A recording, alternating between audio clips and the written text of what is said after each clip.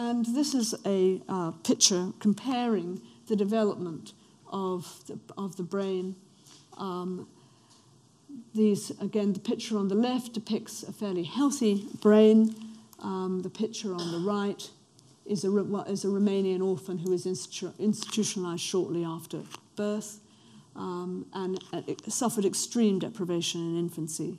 And it's, of course, it's interesting, the Romanian orphan uh, studies, which some of you will know, carried out by Professor Sir Michael Rutter, um, found, of course, that many of those orphans were actually getting food and drink and were warm and had, and, and had uh, shelter and so forth.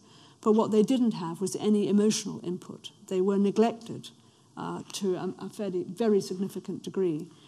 And if they were not rescued before the age of two, this was a group of children who had very significant neurodevelopmental impairments. Um, and they suffer from significant cognitive and emotional problems. But they're particularly around the area of the front of the temporal lobes, um, regulating uh, sensations. Um, and a very important part of the neural connections between the frontal lobes and the memory, part of the brain that regulates memory, and the bit of the brain that regulates fear. Um, so damage like this is going to be a significant problem, lead to significant problems in mood and affect regulation. Particularly being able to regulate your anger and your fear is going to be jolly difficult for people with this type of brain. And here's a raw, even more extreme uh, picture. This is a, a very sad picture uh, comparing, just this is a straight uh, CT um, scan, showing the difference um, in size and shape um, between um, two, two children.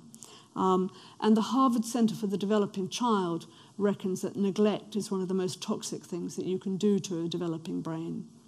And that's important, I think, because in terms of that many of the, if we look at the adverse child experience, I've already seen the Florida offenders, but 40%, at least 40% of the violent offenders that we hold in our prisons have been in care.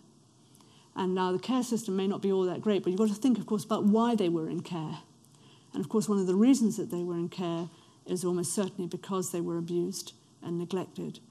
So, again, if we're putting together somebody who's vulnerable in terms of adverse childhood experience, and we put them in a social structure where there's massive inequality, where there's access to weapons, where there are different types of identity for a homicide perpetrator, whether in relation to crime or to terrorism or to interpersonal relationships, what you've got is a meeting of risk factors that should worry us, that should worry us a lot.